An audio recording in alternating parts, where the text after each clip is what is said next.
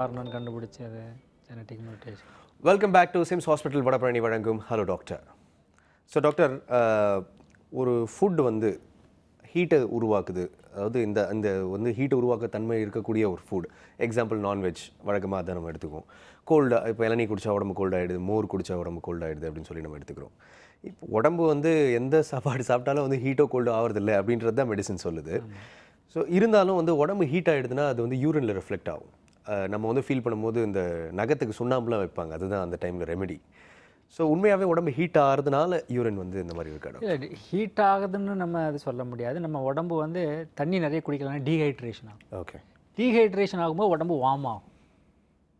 இப்போ நீ fever வருதுனாக்கி fever வந்து என்ன ஆகுதுன்னா நமக்கு தெரியாமலே உடம்புலேருந்து பாடி வந்து இந்த வாட்டர் வந்து எவாப்ரேட் ஆகும். ஓகே ஸோ எவாப்ரேட் ஆகும்போது என்ன ஆகும்? We'll feel the heat so அதனால வந்து டெம்பரேச்சர் ஃபீல் ஆகும்போது நமக்கு ஃபீவர் இருக்குங்க அப்படிங்கிற மாதிரி இதுதான் பட் சயின்டிஃபிக்கலாக வந்து is இந்த ஹீட் ஆகுதுங்கிறதெல்லாம் வந்து ஸோ அப்போ ஹீட் ஆகுதுன்னும் போது சுண்ணாம்பு வச்சு இந்த மோர்லாம் குடிச்சா சைக்கலாஜிக்கலாக தான் நம்மளுக்கு நிறைய தண்ணி குடிச்சிங்கன்னா அது தானாகவே சரியாக போயிடும் இப்போ இளநீ குடிச்சிங்கன்னா ஜுரம் இருக்கும்போது தண்ணி தண்ணி குடிங்க நிறைய குடிங்க இளநீ குடிங்க.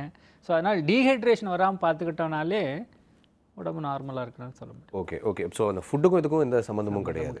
இப்போ இந்த டயட்ரி ஃபுட் அந்த யூரினுக்கு நீங்கள் சொன்னீங்களே டாக்டர் இப்போ ஒரு பர்டிகுலர் போர்ஷன் ஆஃப் ஃபுட்டை வந்து நம்மளால் தவிர்க்கவே முடியலன்னா ஒரு லெசர் போர்ஷனில் எடுத்துக்கிறது நல்லதுங்களா? அதான் சொல்கிறேன் இப்போ நிறைய பேர் எங்கிட்ட வந்து என்ன கேள்வி கேட்பாங்கன்னா டாக்டர் தக்காளியே சாப்பிடக்கூடாதா? அப்படி. மில்கே குடிக்கக்கூடாதா? கஷ்டம். நான்வெஜ்ஜே அதெல்லாம் சாப்பிடாம எப்படி இருக்க முடியும்? இப்போ நம்ம டயட்ரி மாடிஃபி நம்ம டயட்டுக்கும் வெஸ்டர்ன் மா டயட்டுக்கும் ரொம்ப டிஃப்ரென்ஸ் அவன் பார்த்தீங்கன்னா காலையில் மத்தியானம் நைட்டு மூணு வேளைக்குமே நான்வெஜ் இருக்கும். மீட் இருக்கும். நம்ம அந்த மாதிரி சாப்பிட்றது? இல்லை ஸோ நம்ம வந்து நம்ம கான் காலாவசத்தை நான் வெஜிடேரியன் சொல்ல முடியாது. நம்ம வாரத்துக்கு ஒரு தடவை ஏதோ சாப்பிட்றாங்க ரெண்டு வாரத்துக்கு ஒரு தடவை. சில நம்ம இதுலேயே நிறைய பேர் அடிக்கடி நான்வெஜ் சாப்பிடுவாங்க. அவங்களுக்கு வந்து என்ன பண்ணி இப்போ ஒரு தடவை ஸ்டோன் இதே ஸ்டோன் ஃபார்ம் ஆகிறவங்களுக்கு நம்ம வந்து அதை சொல்கிறோம் ஸ்டோன் ஃபார்ம் ஆகாதவங்களுக்கு நீங்கள் வந்து நீங்கள் நார்மல் டயட் சாப்பிட்டுட்டு இருக்கீங்க. ஓகே ஒரு தடவை ஸ்டோன் ஃபார்ம் ஆயிடுச்சுன்னா உங்களுக்கு then your body has a tendency to form stone so அதை குறைக்கணும்னா நீங்கள் அந்த நான்வெஜ்ஜை வந்து கம்மி பண்ணிக்கணும். இப்போ வாரத்துக்கு மூணு நாள் சாப்பிட்றத மாதத்துக்கு ரெண்டு நாளாக அப்படியே குறைச்சிருங்க. அதே மாதிரி தக்காளி எல்லாம் வந்து நீங்கள் தக்காளி சட்னி தக்காளி தொக்குன்னு எக்ஸசிவாக சாப்பிடாதீங்க. நீங்கள் ஆர்டினரி சாம்பார் ரசத்தில் மாதிரி தக்காளி எல்லாம் போட்டுக்கலாம். ஸோ சீட்ஸ் இருக்கிறது ஒரு பிரச்சனை கூடிய அப்படியெல்லாம் ஒண்ணும் கிடையாது. அப்படியும் கிடையாது. ஸோ வந்து விதைகள் இருக்கக்கூடிய காய்கறிகள் சாப்பிடக்கூடாதுன்னு சொல்லுவாங்க அதுவும் வந்து உண்மை கிடையாது. இப்போ மேலை நாடுகளில் கம்பேர் பண்ணால் நம்மளில் வந்து அதிகமாக டாக்டர் ஸ்டோன் இருக்கக்கூடிய மக்கள் அதாவது நம்ம கிளைமேட்டிக் கண்டிஷன் அதுதான் மெயின் இது. ஸோ climate வந்து climate is a very very very important factor Okay. ஏன்னா நிறைய ஸ்வெட் ஆகும்போது வேர்வை அதிகமாகி இப்போ நிறைய பேர் நிறைய பேர் என்ன ஆகுனாங்கன்னா ஏசி போய் ஒர்க் பண்ணுறேன் ரெண்டு வகையாக பிரிச்சுக்கலாம். ஒரு குரூப் வந்து ஏசிக்குள்ளேயே உட்காந்து ஒர்க் பண்ணிக்கிட்டு இருக்கு. ஸோ ஏசிக்குள்ளே போனால் தாகம் எடுக்க தண்ணி குடிக்கிறது இல்லை ஓகே இன்னொரு குரூப் வந்து ஹாட் கிளைமேட் இப்போ பீச்சில் வேலை செய்கிறவங்க இல்லை வயலில் வேலை செய்கிறவங்களுக்கு வந்து என்ன ஆகும்? ரொம்ப ஸ்வெட் ஆகும். டீஹைட்ரேஷன் பெறும் அவங்க தண்ணி குடிக்க மாட்டாங்க. ஸோ இந்த ரெண்டு தண்ணி குடிக்காதனால தான் கா கல் உற்பத்தி எங்கே தான் டாக்டர் இப்போ வேலை செய்யுது ஒன்றும் புரிய மாட்டேங்குது. எங்கே வேலை செஞ்சாலும் தண்ணி நிறைய குடிங்க. தட்ஸ் வாட் நம்ம வாட்டர் இன்டேக் நிறைய இருக்கணும். ஓகே டாக்டர் அதை பற்றி ஃபர்தர் டிஸ்கஸ் பண்ணணும். அடுத்து காலர் பார்த்துலாம் ஹலோ டாக்டர் வணக்கம். ஹலோ வணக்கம் சார். வணக்கம். எங்கேருந்து பேசுகிறீங்கம்மா கோயம்புத்தூர்லேருந்து பேசுகிறேன் சார். டாக்டர் இருக்காங்கம்மா சொல்லுங்கள் என்னன்னு சந்தேகம். சொல்லுங்கம்மா. சார் எனக்கு ஃபோர் எம்எம் கிட்னியில் ஸ்டோன் இருக்குன்னு சொல்லி சொல்லியிருந்தாங்க சார். சரி. இப்போ வந்து அது டாக்டர் பத்து டேப்லெட் கொடுத்தாங்க. அப்புறம் அதுக்கப்புறம் வேண்டாம். தண்ணி மட்டும் நிறைய குடிங்க போதும் அப்படின்னு சொல்லி சொல்லிட்டாங்க. சரி. இப்போ வந்து வலி வலி வருதுங்க சார். அதிகமாக வரதில்ல சைடில் மட்டும் குத்துற மாதிரி வருதுங்க. அப்போ இப்போ இப்போ என்னன்னா ஹலோ? எவ்வளோ நாள் ஆச்சு கல் இருக்குன்னு கண்டுபிடிச்சி? இப்போ ஒரு அஞ்சு ஆறு மாதம் ஆச்சுங்க சார். சரி. திரும்ப ஸ்கேன் பண்ணி பார்த்தீங்களா? இல்லைங்க சார். திரும்ப ஸ்கேன் பண்ணி பார்த்துங்க. ஏன்னா கல் அதே இடத்துல தான் இருக்குதா? இல்லை கீழே இறங்கி வந்துருச்சா? ஆ கீழே யூரின் போகிற இடத்துல வந்து சார் என்னமோ இருக்கிற மாதிரி ஊற்றிட்டே இருக்குங்க. ஆமாம் நீங்கள் சொல்கிறதுலே தெரியுது கல் கீழே இறங்கி வந்துருச்சுன்னு சொல்லி. இப்போ கல் கீழே இறங்கி வந்துருச்சுன்னா உங்களுக்கு வலி வர்றதுக்கு வாய்ப்பு இருக்குது நார்மலாக அதான் சொல்லுவோம் இல்லையா? அதாவது இந்த கிட்னி டியூபினுடைய கேலிபர் வந்து த்ரீ மில்லிமீட்டர் வச்சுக்கோங்களேன். இப்போ ஃபோர் மில்லிமீட்டர் கல் வந்து அதில் வர்றதுக்கு நார்மலாக நைன்டி ஃபைவ் பர்சன்ட் தானாகவே வந்துடும் சப்போஸ் சம்டைம் இந்த டியூபோடைய லூமன் ரொம்ப நேரோவாக இருக்குது அதாவது வந்து ஜாம் ஆகி போய் நிற்கினா கல் வெளியே வர்றதுக்கு வாய்ப்புகள் கம்மி. அதாவது ஒரே இடத்துல அந்த ஸ்டோன் வந்து ஒரு ரெண்டு வாரத்துக்கு மூணு வாரத்துக்கு மேலே அதே இடத்துல இருக்குது அப்படின்னா அதை எண்டாஸ்கோப்பி பண்ணி எடுத்து விட்டுறது தான் சேஃப் ஏன்னா அப்படியே வச்சுக்கிட்டு இருந்தோன்னா கிட்னி டேமேஜ் ஆகும். பேக் ப்ரெஷர்னால கிட்னியில் வீக்கம் வரும் கிட்னி வீக்கம் வரும்போது இன்ஃபெக்ஷன் ஆகிறதுக்கு வாய்ப்பு இருக்குது.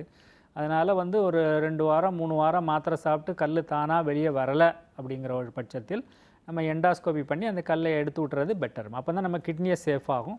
இல்லைன்னா கிட்னி டேமேஜ் ஆகும். கால் பண்ணதுக்கு ரொம்ப நன்றி அம்மா. அடுத்த காலர் பார்க்கலாம் டாக்டர் ஹலோ டாக்டர் வணக்கம்.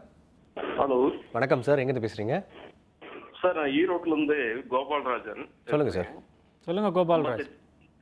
ஹலோ சொல்லுங்க. சார் எனக்கு வயசு 58 ஆகுதுங்க சார் சரி. இப்ப வந்து எனக்கு கல் கொஞ்சம் சின்ன வயசுல இருந்தே கல் உற்பத்தி ஆகிட்டே இருந்ததுங்க. ஓகே. அந்த டாக்டர் கிட்ட பார்க்கும் போதெல்லாம் ஓரளவுக்கு கிளியர் ஆயிரும். மறுபடியும் வந்து தொடர்ந்து வந்துகிட்டே தான் இருந்ததுங்க. சரி. அப்புறம் மறுபடியும் பாத்தீங்கன்னா ஒரு கட்டத்துல யூரின் வந்து கல் இல்லாம கூட எனக்கு வந்து யூரின் வந்து நல்லா பாஸ் ஆகாதுங்க. ம். அப்ப என்ன ஆகுதுன்னீங்கன்னா திடீர்னு மறுபடியும் போய் பார்க்கும்போது சதை அடைப்பு மாதிரி இருக்குது. என்னவா இருக்கு? சதை அடைப்பு. சதை அடைப்பு மாதிரி இருக்கு. சரி. அதை ரிமூவ் பண்ணோம்னா உங்களுக்கு பாஸ் ஆகும் நல்லா பாஸ் ஆகும். ஓகே அது ஆபரேஷன் பண்ணணும் கொஞ்சம். ஓகே அப்படின்னு சொன்னாருங்க சரி.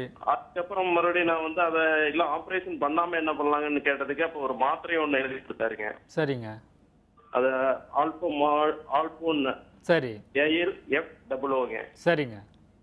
அப்புறம் அதை மட்டும் சாப்பிட்டுட்டு இருக்கிறேங்க. ம். இப்ப அதை சாப்பிட்டோம்னா நல்லா பாஸ் ஆகுங்க. ஆமாம் அதாவது ஆ சொல்லுங்க. அதை வந்து மறுபடியும் வந்து விட்டுட்டோம்னா ரெண்டு நாள் விட்டுட்டோம்னா அதே மாதிரி அடைப்பாகி கொஞ்சம் பாஸ் ஆகிறதுக்கு ரொம்ப கஷ்டமா இருக்கும். அதாவது இப்போ நீங்கள் சொல்கிற கம்ப்ளைண்ட்லாம் வச்சு பார்த்தா உங்களுக்கு அந்த ப்ராஸ்டேட் கிளாண்ட் என்லார்ஜ்மெண்ட் இருக்குன்னு நான் யூகிக்க முடியுது.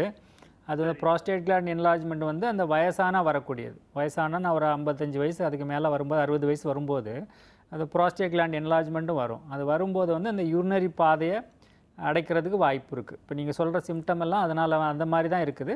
கல் வந்து வேறு. கல் டிஃப்ரெண்ட் ஏற்கனவே உங்களுக்கு கல் இருக்கிறது வந்து ஒரு அது இது தனி வித்தியம். பட் இந்த ப்ராஸ்டேட் என்லார்ஜ்மெண்ட் வந்து இப்போ வயசானா வரக்கூடிய ஏஜ் ரிலேட்டட் டிசீஸ் மாதிரி.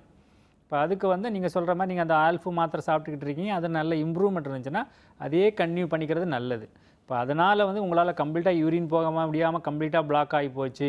இல்லை யூரின் போனதுக்கப்புறம் யூரின் நிறைய தேங்குது. இப்போ அதனால் இன்ஃபெக்ஷன் வருது.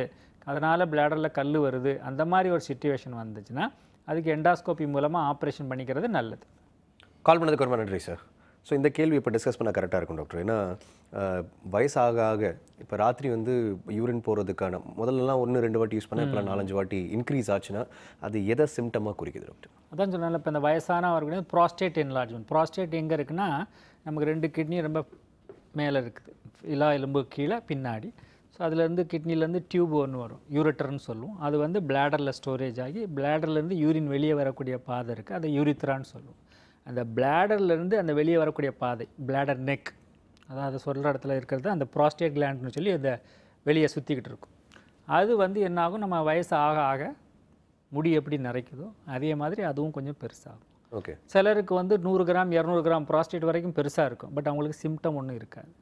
சிலருக்கு நார்மல் சைஸ் வந்து டுவெண்ட்டி டு முப்பது இருபதுலேருந்து முப்பது கிராம் தான் அதனுடைய வெயிட் சப்போஸ் அது சிலருக்கு முப்பது கிராம் நாற்பது கிராம் தான் இருக்கும். பட் அந்த யூரினரி பேசேஜை பிளாக் பண்ணுது. அந்த பிளாக் பண்ணுறதுனால யூரின் போகிறதுக்கு கஷ்டப்படுவாங்க. யூரின் போகிறதுனால என்ன ஆகுது? யூரின் தேங்கும்.